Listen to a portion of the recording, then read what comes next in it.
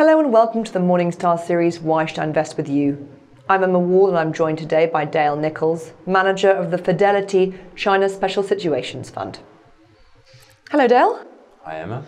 so your trust obviously is closed ended, and that's what right. sets it apart from a lot of um, Chinese and Asian equity funds. Right. How does that influence your investment decisions, particularly within the sort of special situations sector? Sure. Um, well, obviously, I don't have to worry about flows. Um, and so, from a liquidity perspective, I can, I can go down the cap curve uh, a little bit further.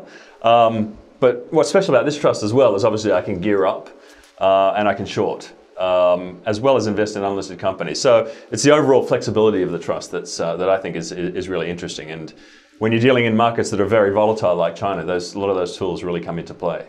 I mean, it must make it a little bit more tricky as well, but when you put it off, you, those gains are, are, are, much greater. I think so, yeah, absolutely. You can really capitalize on the opportunities that volatility uh, brings about. And the, the, trust has done very well over the medium term. It's five star t- status from Morningstar analysts. What do you think has driven that? Um, I just think it really just comes down to the stock picking. Uh, you know, it's a it's a market that's very much driven by a lot of macro factors. Uh, but you know, there's a lot of companies that are really interesting, and it's kind of an undercovered market.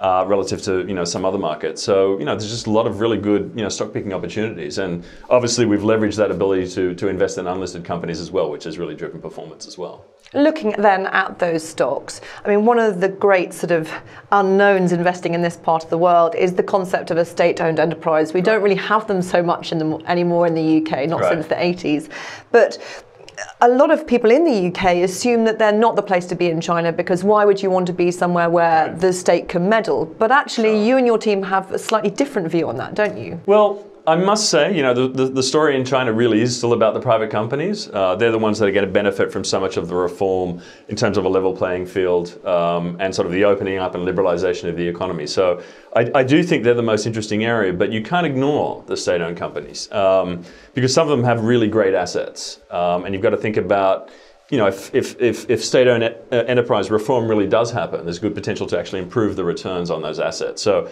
I think about one of my larger holdings, uh, Shanghai Airport. Um, and that's a fantastic asset, and it's benefiting from domestic travel, but also you know the significant increase that we're seeing in outbound travel. You got things like Shanghai Disneyland, which is uh, which is opening up next year, and again, it's a great asset, but you can imagine pretty strong potential to improve the returns on those assets as well, uh, given what I think is a, a kind of an undermanaged um, retail and sort of uh, food and beverage offering that they currently have. So if there is real reform, there's good potential to actually re- improve the returns on those assets as well. Dale, thank you very much. Thank you. This is Emma Wall for Morningstar. Thank you for watching.